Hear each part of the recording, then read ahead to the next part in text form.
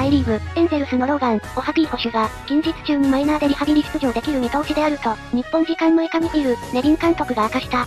来週からマイナーでプレーする。火曜日か水曜の予定だ。いきなり9回はプレイできないから、それなりに時間がかかる。最初はインランド 1A からで、その後、ソルトレイクシティ 3A でプレイすることになると復帰スケジュールを語った。米メディアの報道によれば、復帰までに約20日を必要とする見通しだという。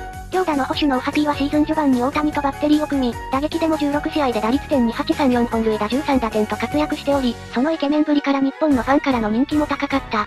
4月20日のヤンキース戦の打席でスイングした際に左肩を痛め、左肩関節心の断裂で長期離脱を余儀なくされていた。エンゼルスの今シーズンはもう終戦を迎えたんで、無理に戻ってくる必要はないで、焦らずじっくりでええんやで。もう今から戻ってきてもどうにもならん。エンゼルスの今シーズンは消化試合になりそうやしな。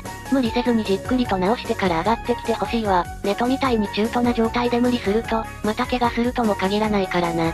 どうせ、もうチームは終戦、焦る必要なんかないんやで。オハッピーでも、トラウトでも、レンドーンでも、すでに、手遅れやで。よりにもよってシアトル相手の連敗が痛かったわ。ネビンは今まで何してきた？やる気ないんか？モレノがそのうち、補強しても勝てないから、もうしないって言い出すぞ。レンドンは試合中に笑ってないでボールボーイでもしろ。今更復帰してももう遅いんよね。もう諦めたわ。終了のお知らせ、補強したら弱くなるってなんや？オハピーが復帰したらどっちの保守がクビになるんやろ？彼のスイングは必ずまた怪我をすると思うわ。時すでに遅し。